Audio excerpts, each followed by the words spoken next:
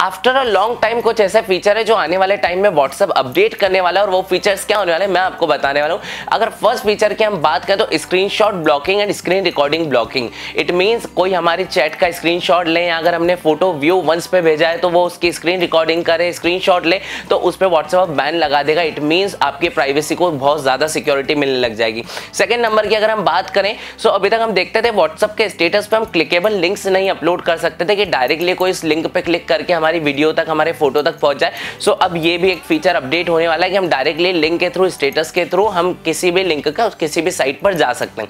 अगर third number की बात करें तो व्हाट्सअप प्रीमियर लॉन्च होने वाला है बिज़नेस के लिए। जो कई लोग हैं जो व्हाट्सअप के थ्रू अपना बिज़नेस अपडेट करते हैं बिज़नेस को ज़्यादा फैलाना चाहते हैं तो उनके लिए व्हाट्सअप प्रीमियम लॉन्च होने वाला है, जिसमें बहुत सारे बेनिफिट्स मिलेंगे। लाइक आप फोर डिवाइस के अलावा भी आप बहुत सारे मोबाइल में अपना व्हाट्सअप अटैच कर सकते हो। आप बहुत सारे ग्रुप में एक साथ भी अपने बिज़नेस के लिंक्स भेज सकते हो, उन्हें मैसेज कर सकते हो, एक साथ बहुत सारे नंबर पर फॉरवर्ड कर सकते हो। तो कुछ ऐसे प्रीमियम फीचर्स हमें देखने को मिलेंगे जो व्हाट्सअप बिज़नेस में अपडेट होंगे।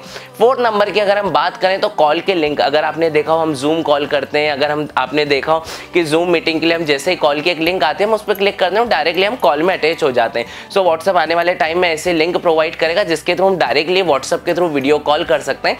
एंड अगर फिफ्थ के नंबर की बात करें तो व्हाट्सअप ने कुछ टाइम पहले एक अपडेट दिया था जिसमें हम मैसेज डिलीट फॉर एवरीवन कर सकते थे लेकिन यहाँ पर अब एक नया अपडेट आने वाला है जिसमें हम मैसेज भेजने का उस मैसेज को डायरेक्टली एडिट भी कर सकते हैं। तो आने वाले टाइम में व्हाट्सअप और कौन कौन से फीचर्स को अपडेट करेगा, जानते रहने के लिए फॉलो कीजिए डिजाना का पेज